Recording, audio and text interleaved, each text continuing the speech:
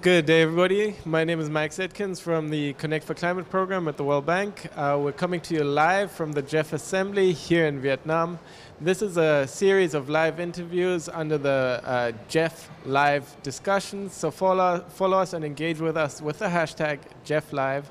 Um, we're addressing some of our biggest environmental challenges here. We're looking at the solutions, we're looking at the action already on, on, on the table. Um, so to that effect, I'd, I'd like to introduce my panelists here.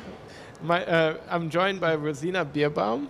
Thank you so very much for joining me. Thank you. And Rosina is the, uh, she's the chair of the GEF Scientific and Technical Advisory Panel. Um, and you've got also a, a wealth of academic uh, background. you're, you're, a professor at the University of Michigan as well as the University of Maryland.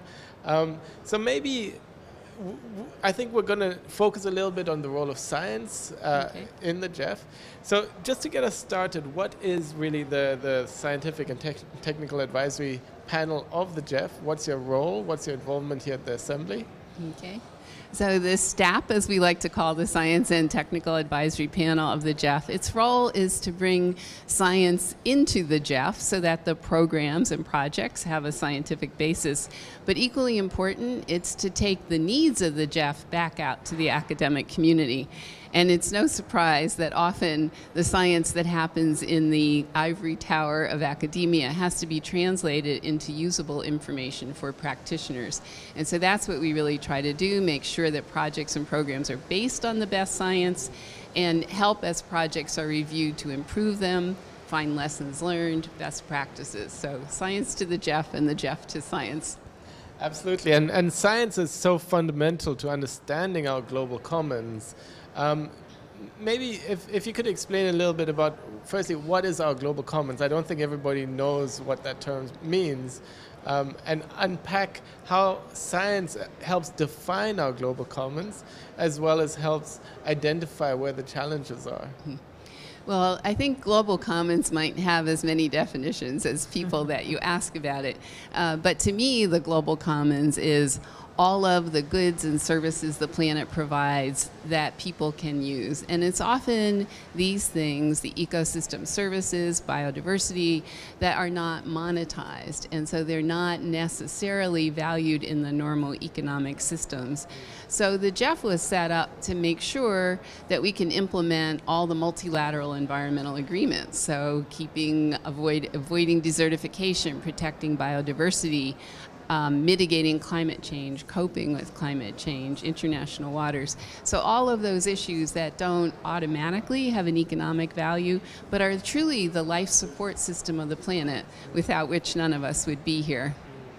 And, and science is so fundamental in identifying the roles of, of these services and goods, and also in a way uh, quantifying them and, and seeing what kind of services us society, but also all of life does derive from our global environment, our global commons.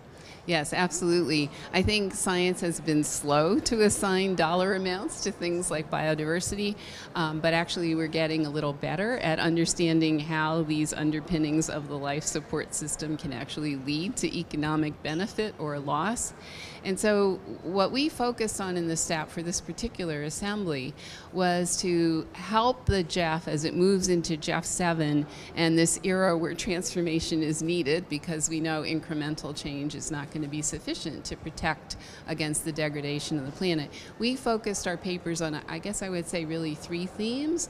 One is the science of integration. That is, how do you think in a systems way, uh, whether it be across disciplines in science or across parts of the ecology, water, land, air, energy, and how can you come up with solutions that will give you a bigger bang for the buck, if you will, that will solve multiple problems at the same time and not make another problem worse. So this idea of thinking in a systems approach to tackle multiple problems and to make sure you're not creating a new one at the same time.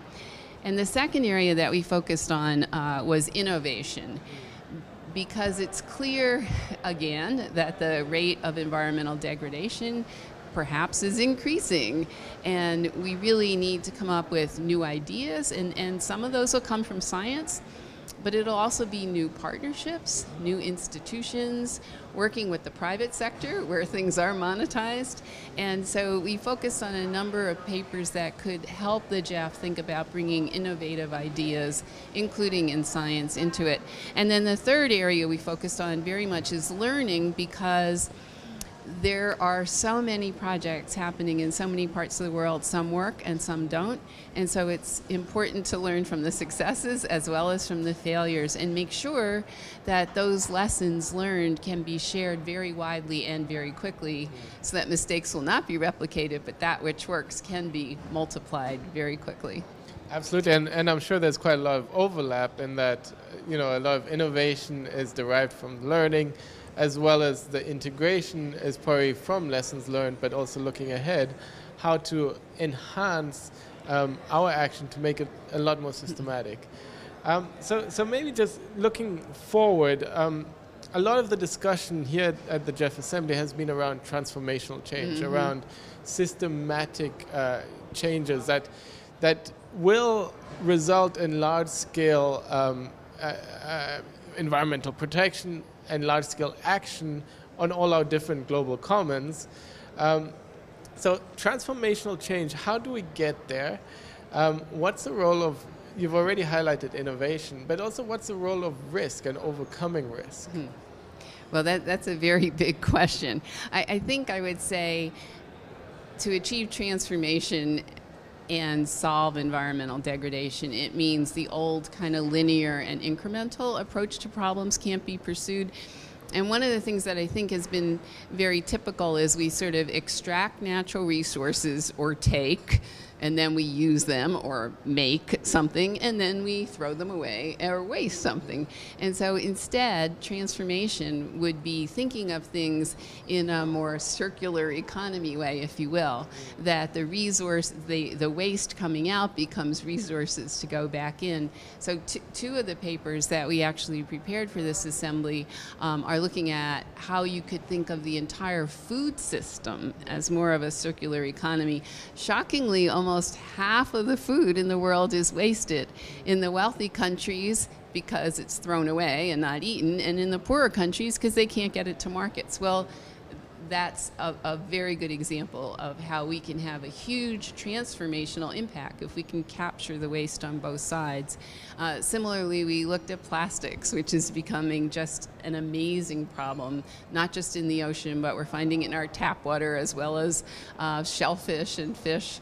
Um, and again, if we could think of different raw materials, not fossil fuels, to produce something that has the same services as plastic. Yeah and you know then uh, reuse and not waste that that can be transformational so those are the kind of things moving away from linear and incremental thinking into really this systems thinking that can make a big difference. And, and, and the innovation and risk aspects of that both lie in, in the public sector. So I, I guess governments are, are trying to figure out how to implement the right policies to ensure that they have transformational action.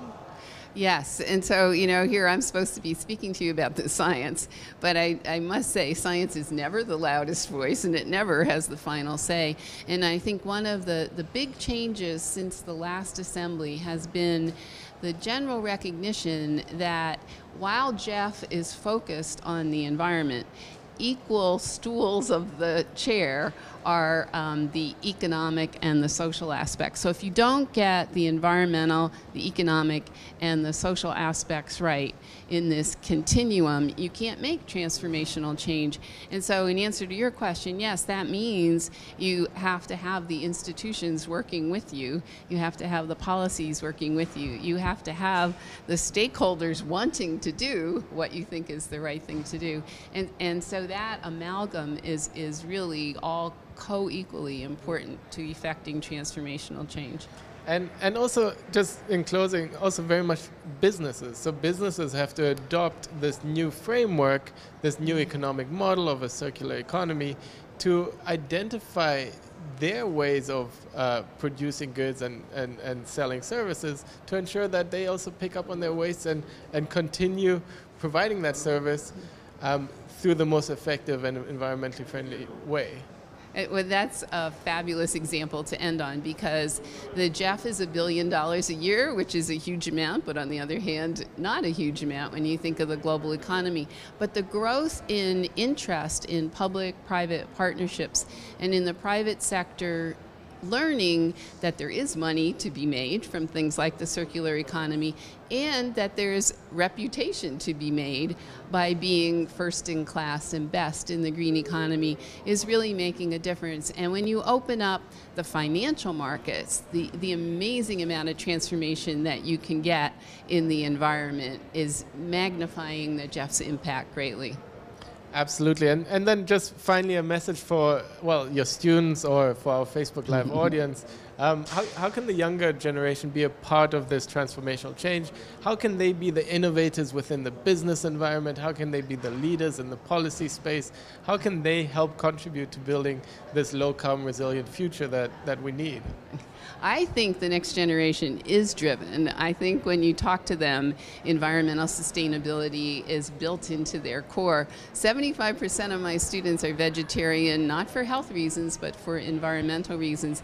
And what gives me great hope is that your generation thinks more automatically in a systems way. You can put together the pieces of uh, environmental science and chemistry and business and law and policy. And so I think that the students should learn different disciplines, really be interdisciplinary, speak the languages of science, economics, and policy, um, and that that is to me the most optimistic thing going because your generation thinks in a way that can lead to transformation. Absolutely. Well, thank you, Rosina. Thank you so very much for being with us live on Connect4Climate's Facebook. Um, you've heard it. Science is at the base of all the environmental action that we need. Um, science is driving our framework, and we can all be a part of this transformational change. Thank you very much. Thank you, Max.